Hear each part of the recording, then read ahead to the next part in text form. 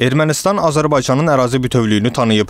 Bu barədə Praqada prezident İlham Əliyev, Fransa prezidenti Emmanuel Macron, Avropa İttifaqı Şurasının prezidenti Şarl Michel və Ermənistanın baş naziri Nikol Paşinyan arasında keçirilən görüşdən sonra Yelisey sarayının rəsmi saytında dərc olunmuş bəyanatda deyilir. Sənəddə vurğulanıb ki, Ermənistan və Azərbaycan BMT-nin nizamnaməsinə və hər iki tərəfin bir-birinin ərazi bütövlüyünü və suverenliyini tanıdığı 1991-ci il Almatı bəyannaməsinə sadiqliklərini təsdiqləyiblər. Onlar təsdiq ediblər ki, bu sərhədlərin delimitasiyası komissiyalarının işi üçün əsas olacaq və oktyabrın sonunadək sərhəd komissiyalarının növbəti iclası Brüsseldə keçiriləcək. Ermənistan Azərbaycanla sərhəddə Avropa İttifaqının mülki missiyasına yardım göstərməyə razılaşıb. Azərbaycan bu missiya ilə ona aid olduğu dərəcədə əməkdaşlığa razılıq verib. Missiya oktyabr ayında fəaliyyətə başlayacaq və maksimum 2 ay müddətində davam edəcək.